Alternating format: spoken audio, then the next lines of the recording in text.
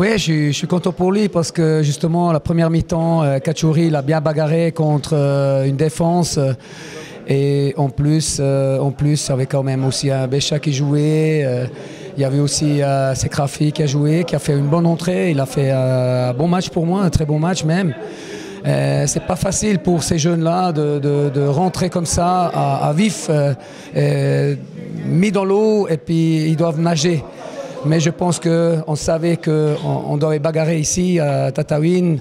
Euh, c'est un match difficile sur synthétique. Euh, On savait qu'ils vont nous presser.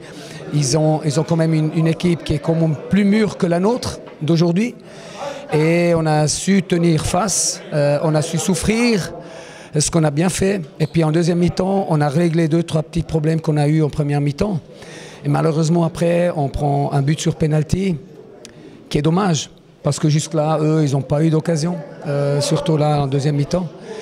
Et après, on marque un, joli but avec Kachouri, qui enfin, il s'est tourné une fois avec un ballon qu'il qui, qu'il- qu'il avait, et autour des 16.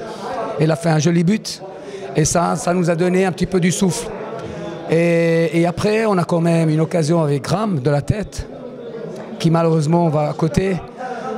On a encore euh, qui a aussi une super occasion euh, où, au dernier moment, il lui enlève le ballon. Et puis à la fin, c'est clair, euh, la, l'occasion, la grande occasion de Chablis, qui malheureusement à côté du but, peu de côté.